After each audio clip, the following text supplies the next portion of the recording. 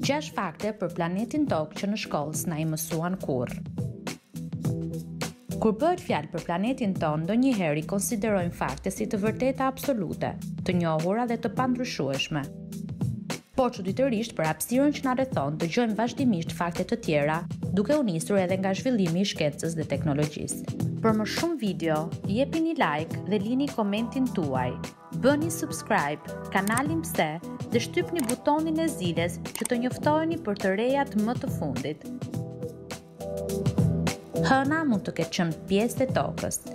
Shkencëtarët mendojnë se hëna mund të jetë shkëputur për shkak të një përplasjeje të planetit tonë me ndonjë objekt tjetër gjigant të hapësirës. Përplasja rezultoi e fuqishme, gjë që solli shkëputjen e tokës nga sateliti i saj. Graviteti i çuditshëm. Për shkak të faktit që Toka nuk është krejtësisht e rrumbullakët, masa e saj është e pabarabartë. Dallimi në masë shkakton luhatje të gravitetit në vende të ndryshme në Tokë. Një nga këto anomali vihet re në Hudson Bay, në Kanadanë Veriore. Graviteti është më i ulët se në vendet e tjera. Toka mund të ketë një satelit të dytë. Disa shkencëtarë mendojnë se planeti ynë ka një satelit tjetër, sepse sipas hulumtimeve, vihet re një tjetër objekt kozmik që rrotullohet rreth Tokës. Megjithatë, nuk është i njëjti objekt, pasi ata ndryshojnë për shkak të fushës gravitacionale. Toka tërheq asteroidë të mëdhenj që vazhdojnë të ndjekin planetin tonë. Tërmete në Hënë.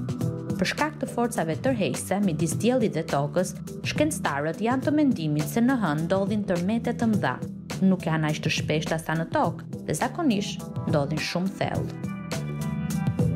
Toka ishte në ngjyrë vjollcë. Disa studime të Universitetit të Marylandit tregojnë se planeti ynë ka qenë në ngjyrë vjollcë. Mikrobet e lashta përdornin molekula të tjera për të përpunuar rrezet e diellit në vend të klorofilit.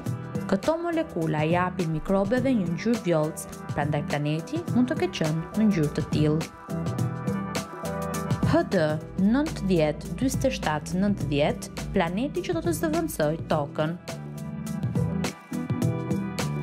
HD 90 47 90 është një planet i mundshëm që mund të banojë njerëz në të ardhmen, i cili gjendet në të njëjtën galaktikë, rrugën e qumështit dhe posedon të njëjtat karakteristika, atmosferë të jashtëzakonshme, klimë, burime natyrore dhe ujë të freskët,